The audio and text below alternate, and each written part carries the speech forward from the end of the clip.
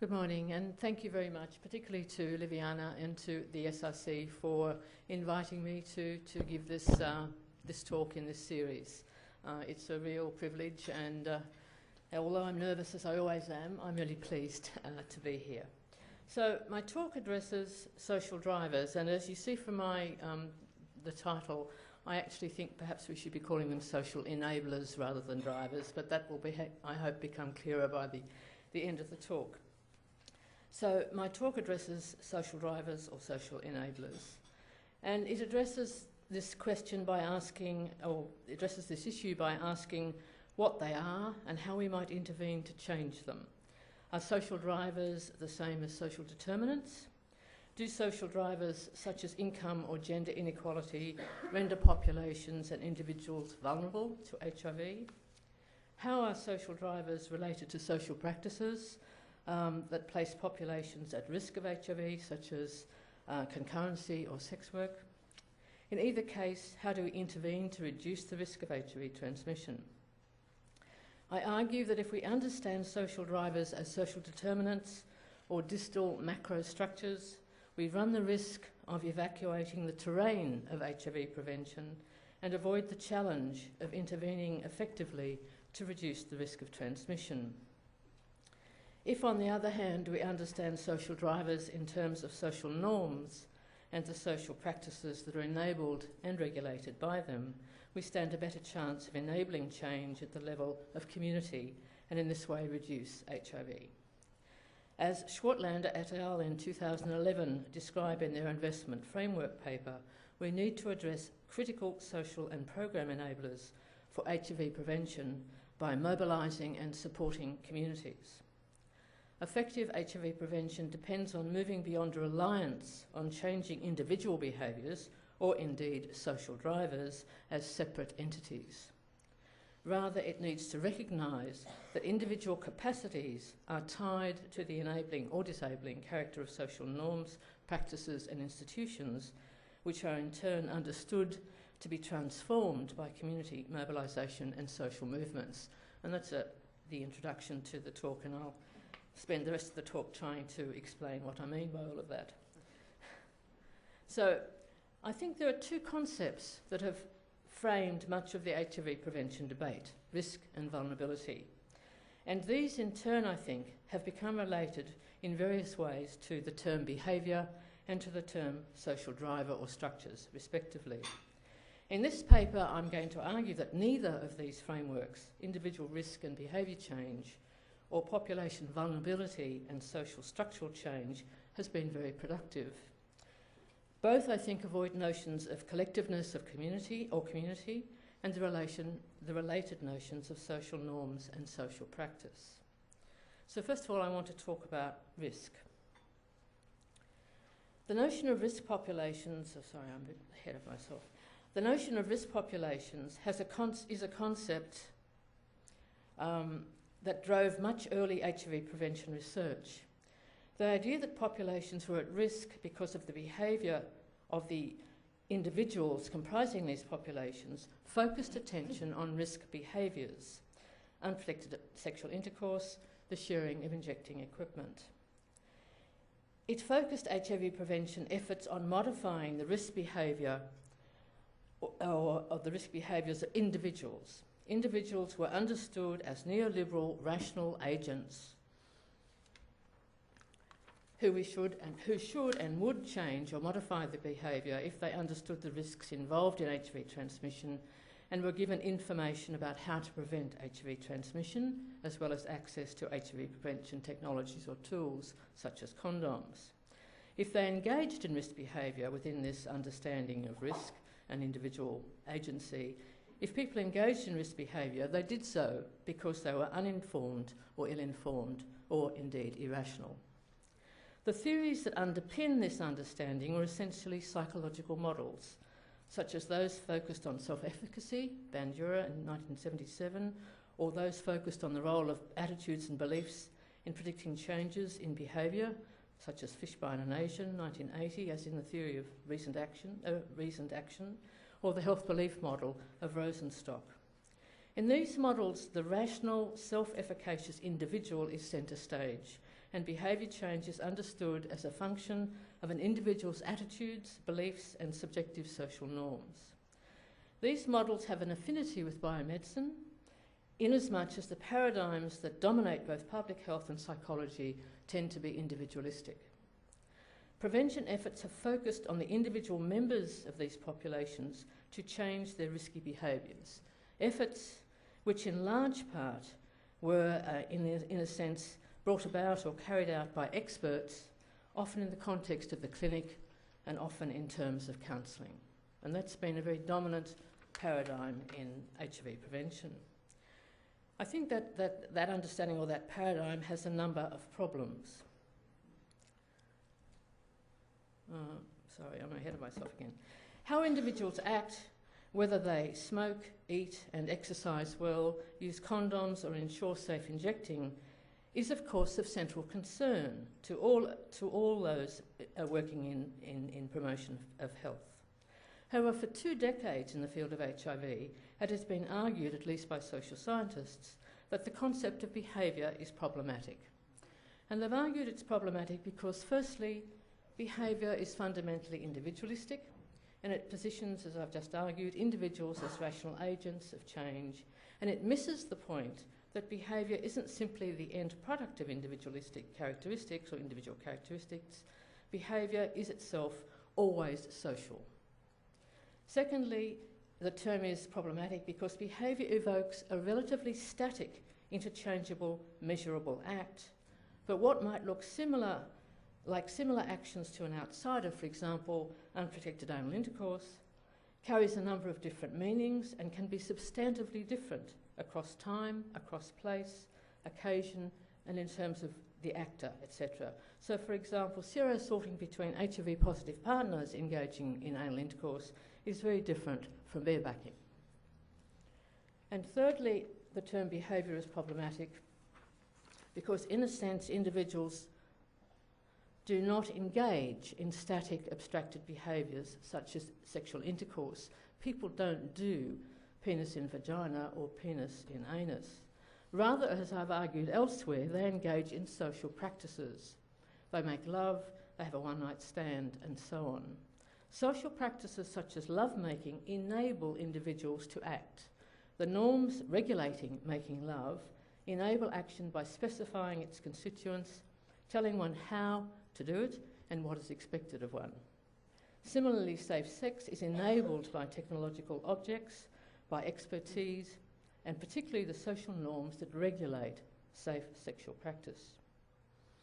So, the HIV prevention debate has typically focused in the past at least, on which technologies or tools are most likely to bring about a reduction in HIV transmission and how best to target individuals in order to get them to take up these tools, whether they be condoms or male circumcision, and to change their behaviour. Recently, notwithstanding the drop in HIV incidence in many countries around the world, voices, mainly from biomedicine, have begun to claim that HIV prevention interventions, particularly behavioural change interventions, have not been very successful.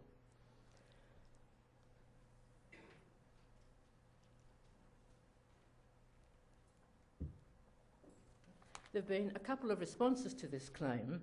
One response has been one response to the claim of prevention failure has been the widespread embra- embrace of the promise of biomedical interventions, and I'm not going to address that here because it's being addressed by many people over the last five years. The other response, and the one that concerns me here, has been to direct attention to the social and cultural contexts of risk, which, is argued, renders individuals and groups vulnerable to HIV transmission.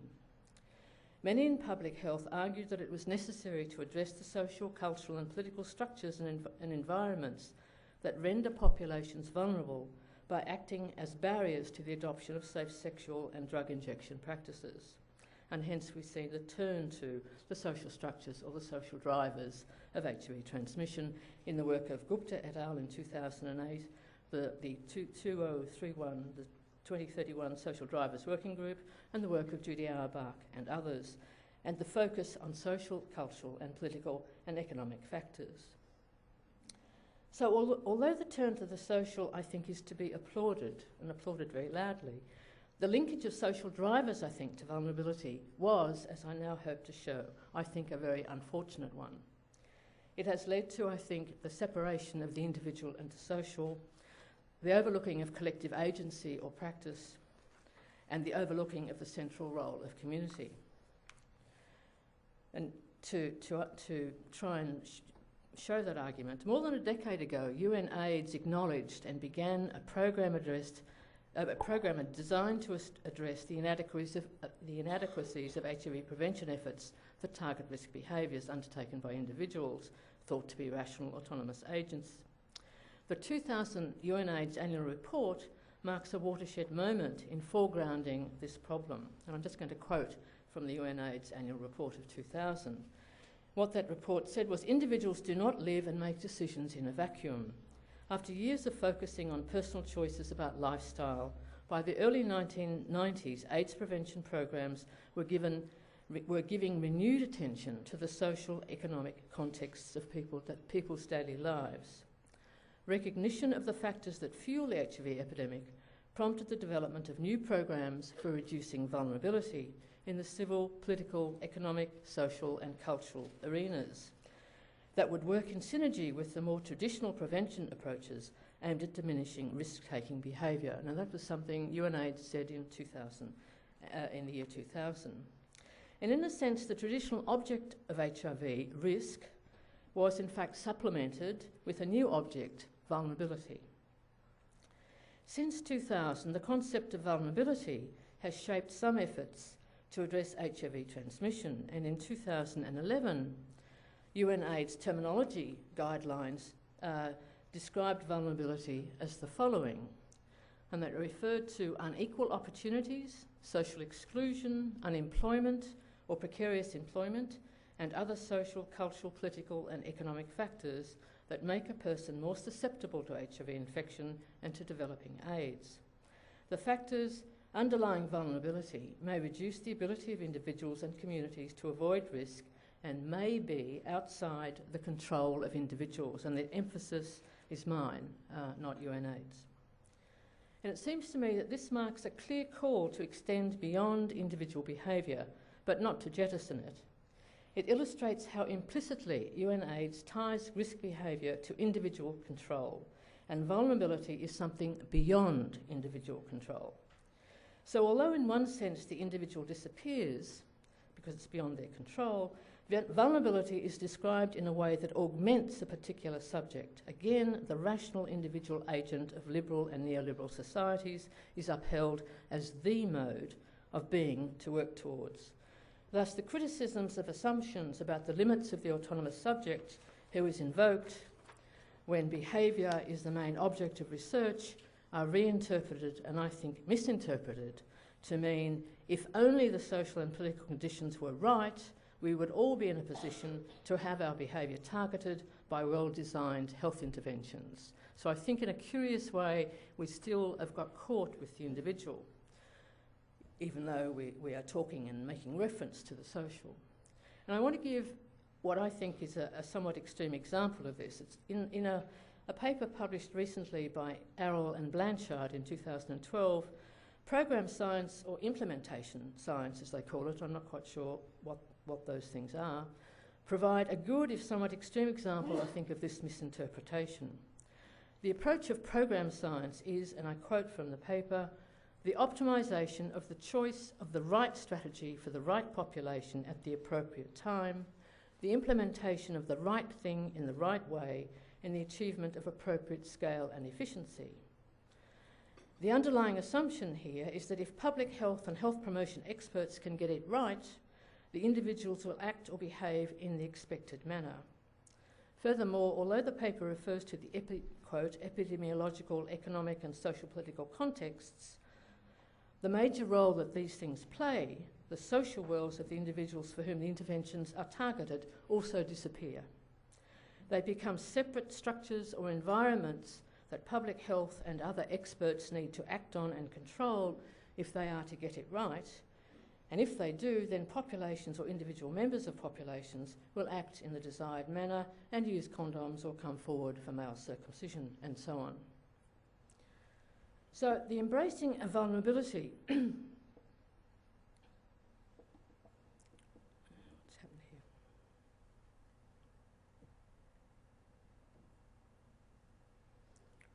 Sorry, it seems to have. All right. The, embrace the embracing of vulnerability, I think, is likely to have the unintended consequence of making the individual disappear almost by definition because he or she is unable to act until the social is changed.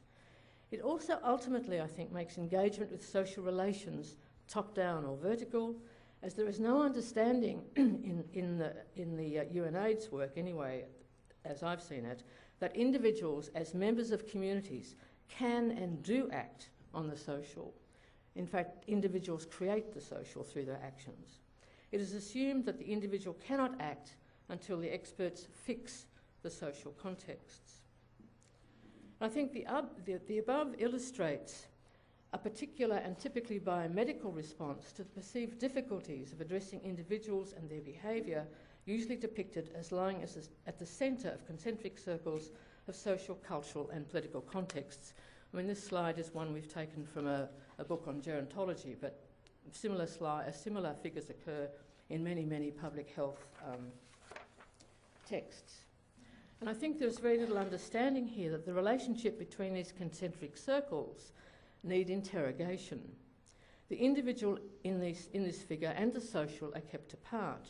The response is one that is in part animated, I think, by the fantasy of escaping the complexities of the ways in which persons and society um, are, sorry, in the ways persons are of society and of the ways in which their practices, people's practices, reproduce and transform that society. I think there's little understanding that it's individuals' actions that change society and transform the social.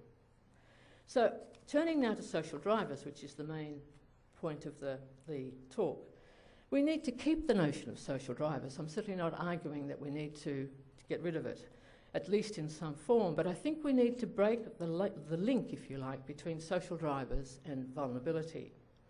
We need to acknowledge not only that social drivers influence people's actions, but importantly, people as members of communities and networks, by their actions and interactions, produce and reproduce the social and the social drivers. It's reciprocal.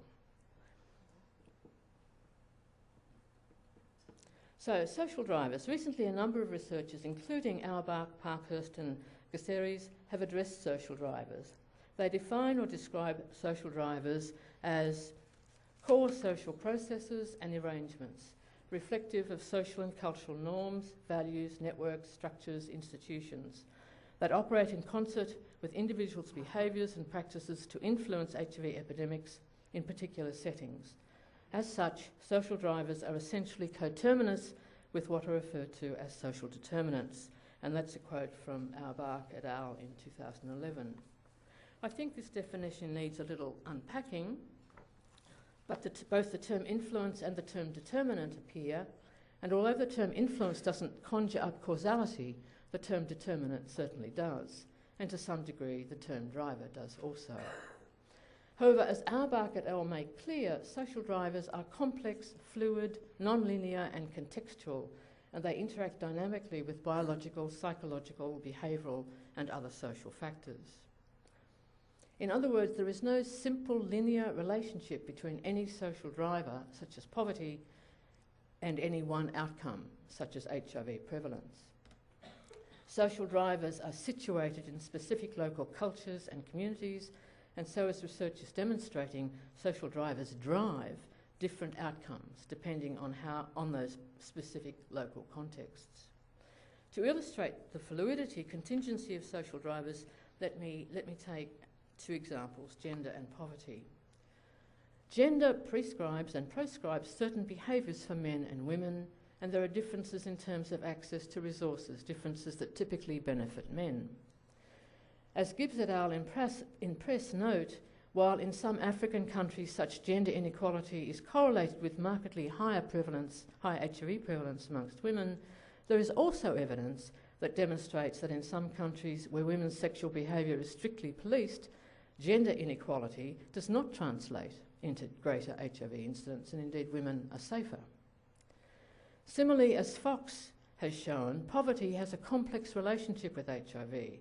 The data from sub Saharan Africa indicate that both wealthier countries and wealthier individuals are more likely to be, uh, have a higher prevalence of HIV, or countries are likely to have a higher prevalence of HIV, and individual, wealthier individuals are more likely to be HIV positive.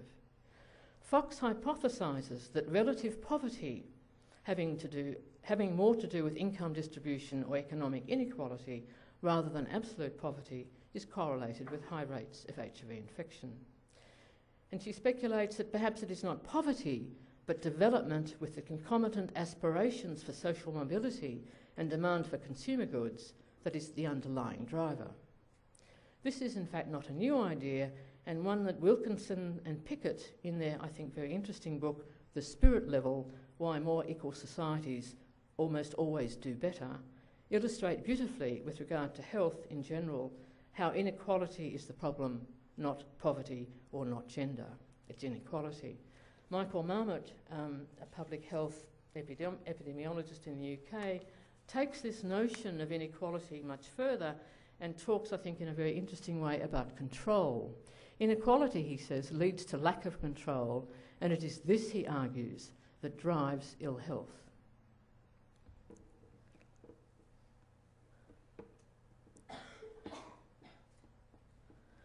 So, to continue on talking about social drivers, the term social drivers refers to a number of different sorts of drivers. The AIDS 2031 Social Drivers Working Group, Auerbach and uh, Vincent and Miss Kelly in 2010 and Parkhurst in Press refer to a range of social drivers. They refer to distal drivers or macro factors such as social and macroeconomic opportunities, cultural institutions and related values, legal rights and regulations. And they also refer to more proximate, or what they call micro factors, such as policies and social norms that regulate gender, sexual partnering, monogamy, polygamy, sexual practice, drug use, as well as stigma and discrimination. While the two types are not unrelated, indeed one influences the other, it is, I think, important to think about them as different from one another. Some are more upstream, the macro ones, than others, and those that are more upstream, such as legal regulations and macroeconomic policies, are likely to be much more difficult to change, certainly in the short term, than the norms that structure the social life or structure life at the community level. Schwartländer et al. in uh, 2011 also distinguish the macro from the micro in their development of the investment framework approach and suggest that it may be more productive to understand the macro distal factors as belonging to the development sector and to work towards de developing synergies with that sector rather than attempting to bring about change directly. Although the more proximate social drivers are also, in a sense, difficult to pin down because, as noted above, their impact is likely to be contingent and not predictable, they are easier to address directly through community interventions. These more proximate or micro-social drivers, Schwartländer et al. refer to as social enablers, which they say make environments conducive for rational HIV-AIDS responses. Now, while I agree with Schwartländer et al., we need to acknowledge the close and reciprocal relationship between the macro and the micro. Gibbs et al. in press in a recent paper provided a timely reminder and after he reviewed much of the literature on interventions to modify gender inequality and alleviate li livelihood insecurity among women, uh, these authors concluded that the very different outcomes of the interventions, including microfinance, support for gender participation in school, for women and girls, and gender empowerment, may be different because the interventions are not upstream enough. In other words, you're getting all these different outcomes because we're working too closely at the proximate level. Now, I'm not sure he's right about that, or they're right about that, but I'm going to return to this issue at the end of the paper. But, but now turn to how, intervention, how interventions, uh, how we might engage to modify social drivers and how that might best work. And I'm going to focus on the proximate or the micro-social drivers, the social and cultural norms and practices that they regulate. So I think the way forward is not new, but in all the talk of vulnerability or social determinants and social barriers, it's become difficult to articulate, I think, in terms of HIV prevention. And I think the way forward lies in understanding communities and their central active role in change. I think it lies in understanding that not only do social drivers produce different outcomes in different situations and contexts, but the social drivers or structural factors emerge from ongoing social processes residing in both informal social arrangements and the everyday unfolding of social practice, as well as in more institutional forms. In other words, social drivers, at least at the, form, at the level of norms, take shape and emerge in communities. What the focus on vulnerability, I think, has done is deflect attention away from communities in a way that has led many in public health to throw the baby out with the bathwater. As pointed out, as I said earlier, individuals have been occluded and the notion of agency obliterated, I think, when, when you start talking about vulnerability. The fact that community members in their actions and interactions not only reproduce norms but also modify and transform them, transform them appears to have been forgotten by many working in public health. And with reference to contemporary theorists such as Bourdieu and to the work of Crossley and to Vincent and Misskelley, and they point out that, to quote, social structures do not have a reality outside the ongoing flow of social life as something over and above it. Emerging regularities between, uh, become, sorry, emerging regularities become sedimented in social institutions, norms and practices, and these in, turns have a, a these in turn have a reciprocal influence on social life and so on. In other words, social drivers are situational and contextual, fluid and contingent because they are emergent and they emerge from people's behaviour and actions and interactions. Social researchers such as Vincent Misskelley, Catherine Campbell, and Auerbach and Parkhurst, as well as Schwartländer, all note and insist on the central importance of community mobilisation and community participation in effective responses to HIV. And Catherine Campbell speaks of competence, as in competence communities, and Auerbach and Parkhurst speak of resilience. Both competence and resilience have many, I think, similar characteristics. The key meaning in both concerns enabling or enablement, a meaning contained in the term social enablers which Schwartländer et al. Uh, say make environments conducive for rational HIV AIDS responses. Building competence depends to a large degree on facilitating programs and processes that, that serve to buffer or ameliorate the impacts of social inequalities on people's health. That's a quote taken from Catherine Campbell. And resilience is defined by the Social Drivers Working Group. Resilience is defined as in place when individuals are able to manage the risks that are present in their environment. And as shown in the figure below, AIDS resilience or competence is the product of a dynamic interplay between, they say, individual agency and AIDS competent communities. The outer circle encompasses the elements of health enabling environments and that's in the uh, Auerbach, oh, it's in the driver's paper.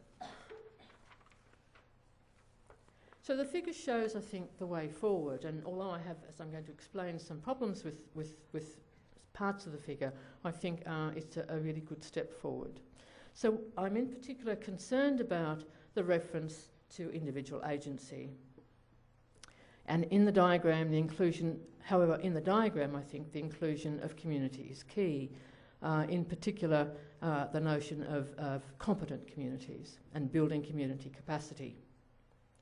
Effective HIV prevention programs build knowledge and basic skills, reflect community views and understandings, and build a sense of community ownership. Emphasise community strengths and resources, provide safe social spaces that enable and encourage collective dialogue and critical thinking, and mobilise existing formal and informal networks as well as building links with actors and agencies outside. In the investment framework, again of Schwartländer, community mobilisation is also central. And to quote from Schwartländer et al., community mobilisation is essential for an effective AIDS response. Communities play a number of roles. They connect and engage people who have similar issues and concerns. They support activities that target people already involved in care, in harm reduction, in drug treatment services, and already using sexual and reproductive health services. And their objectives include advocacy, transparency, and, and accountability efforts. Effective HIV prevention programs build a sense of solidarity, common purpose, and collective responsibility to fight HIV/AIDS. However, I'm, I'm sorry, I've missed them.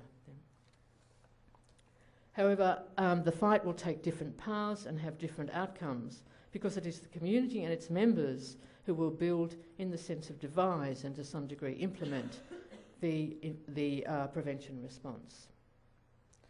As Parkhurst Impress notes, defining a social drivers approach as one which builds HIV resilience implicitly implies, applies, uh, implies a normative system in which people's capacity to act to resist HIV is valued.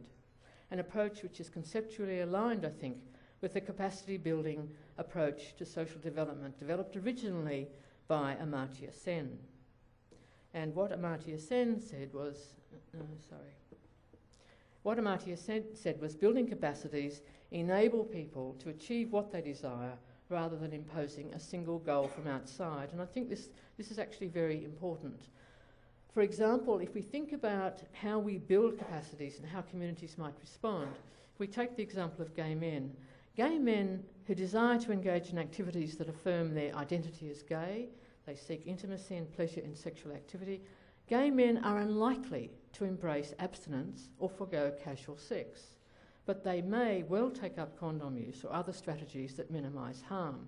In other words, what we need to do, as Amartya Sen says, is build capacities that enable people to, to achieve what they desire rather than imposing a single goal. And it's communities who must make those, those choices. Their capacity to act, communities' capacity to act, lies in their connectedness, in the case of gay men, to other gay men who think and act as they do themselves. And it is through such connectedness and community activity that norms that regulate sexual practice and in other communities drug injection practice, it's, it's those norms that they help change. So what I'm, I suppose, just to summarise, I'm actually saying I think the social drivers approach is a very good one, but we need to build in some sense of reciprocity in the sense that social drivers influence practice, but practice, in fact, develops social norms. It's a two-way process, and that norms, in not in a sense, norms emerge out of social practice and interaction, and I think that's missing in some of the uh, earlier uh, works on social drivers. So there are. Th- so I suppose what I'm saying is that I think it's a, a great way forward, but there are a number of problems, not, maybe not problems, but challenges. I think that we need to think about as we move forward with the notion of social drivers. And I think there are three questions or three issues or problems or challenges. One is to do with evidence, the other with whether we talk about individual or collective agency, and the last is whether we look at the macro or the micro or how we manage that and I'm going to address each of these in turn.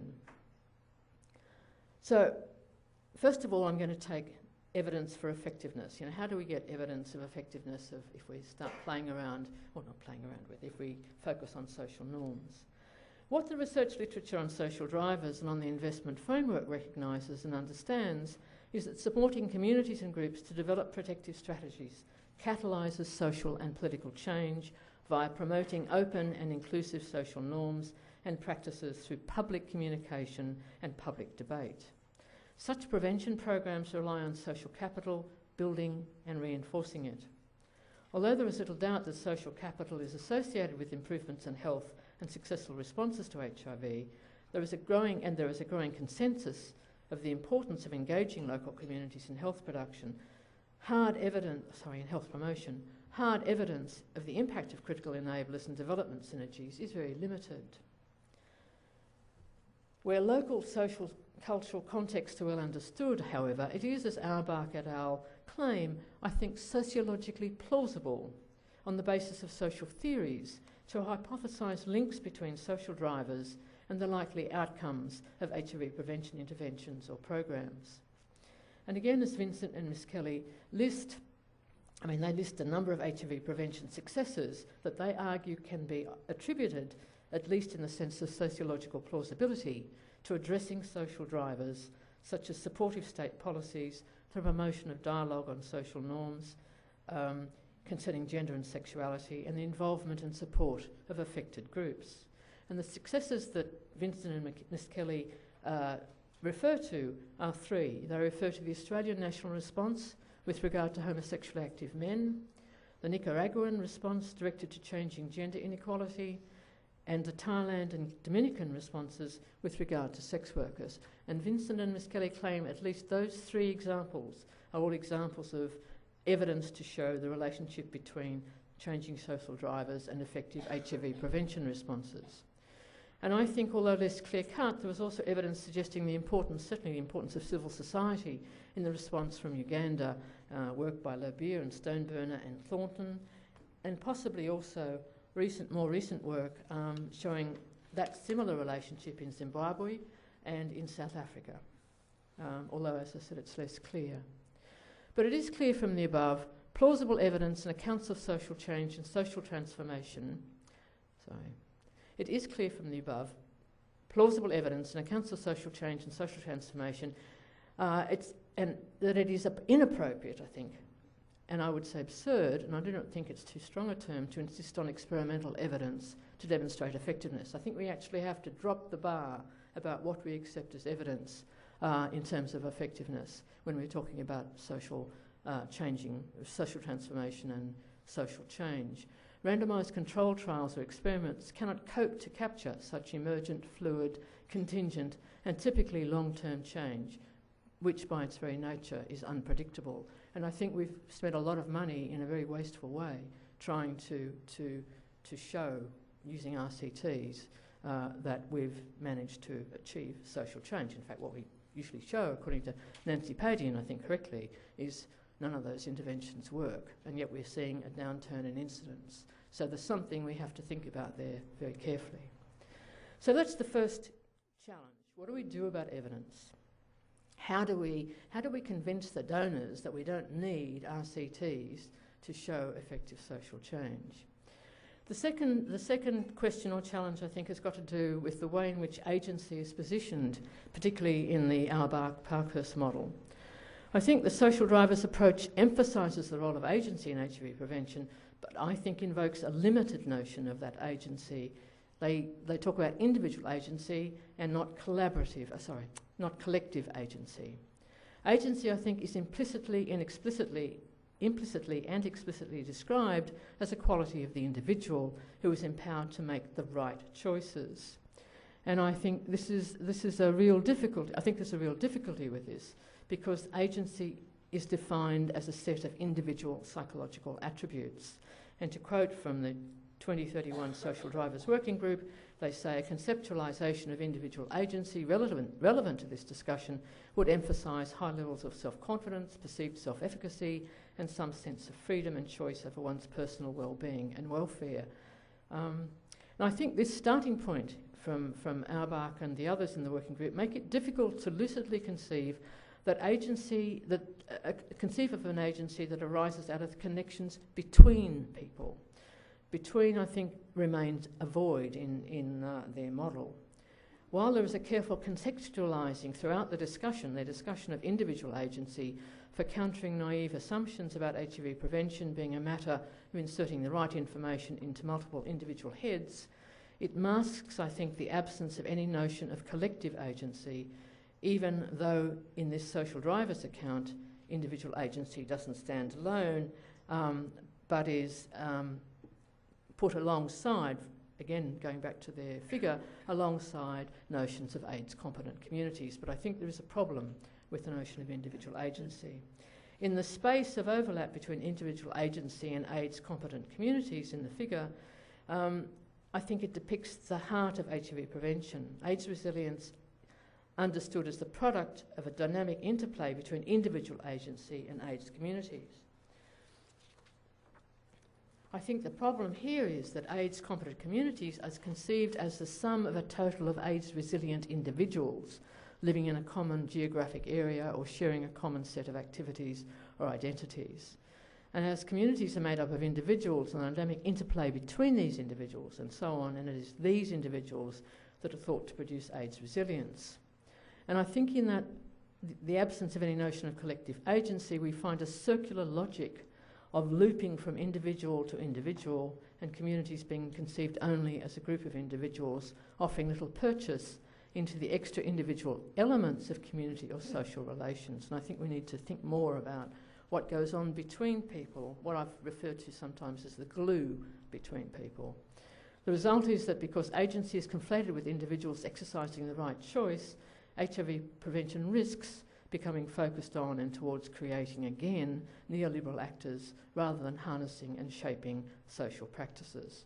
I think collective agency is the heart of social practice, and I think social practices rather than individual behaviours are what are transformed in any successful response to HIV. In other words, we have to transform marriage or monogamy or polygamy or currency, uh, concurrency or sex work. We don't transform some abstract notion of uh, intercourse. What we transform if our, if our prevention is going to be successful is practice. The last, the last uh, challenge I want to take up is the proximate or the distal social driver. In this talk, I focused on the proximate drivers, and I haven't really talked a great deal about distal drivers. And this focus that I've taken is in part because attempts to alter distal drivers are few, and more importantly, because the links between these distal drivers, such as economic inequality and HIV incidence, are by definition distant and very hard to show. However, I'm, I'm going back to Gibbs here. Gibbs expresses concern that some interventions are not upstream enough. And with reference to livelihood strengthening in conjunction with gender transformation, Gibbs and his co authors raise questions about the links between economic constraints on men and women and the wider processes, and to quote him, of global change, capitalism, and state policies. And he argues that current interventions do nothing to challenge these wider issues. While such challenges are enormous, the authors refer to their Creating Futures work, which se- seeks to get young people to critically think about how forms of capital and institutions shape livelihood strategies and to think about changing them. But that is, you know, very challenging. We're talking about changing um, institutions such as capitalism. A less ambitious but nevertheless related response to this question is Schwartländer et al.'s suggestion, namely that HIV prevention programs be aligned to development goals. I would, however, add, in line with Gibbs et al., that we, are, we, as members of civil society and communities, need to advocate to bring about change in these larger institutional forms and maybe not just synergistically link ourselves to them or link our programs to them, but in fact attempt to change them, as Gibbs et al. argue. It is, for example, advocacy that changed legal regulations and led to, for example, the decriminalising of homosexuality, the ensuring safe access to sterile needles and syringes, and the outlawing of discrimination in healthcare settings and the workplace. And that came about because of advocacy not because we, we uh, didn't act. It is also clear that cha- such changes enable people and communities and their members to respond uh, effectively to the threat of AIDS. And I'm again reminded here of Michael Marmot's reference to control. It seems to me we need to work at both the level of community and the level of social structures, but we need to, to remember that we produce these structures ourselves over time. And finally, in conclusion, I think we need the turn, I think, to social drivers is to be very welcomed, but we need to get rid of the notion of vulnerability and the way at which it completely obscures, I think, the role of community and undermines the notion of agency, but particularly collective agency. I'm not suggesting that populations aren't vulnerable, but I think we need to be very careful about how we use that term because I think it undermines uh, collective action. We need to concentrate on the more proximate social drivers and focus on social and cultural norms and the social practices that these norms enable and regulate.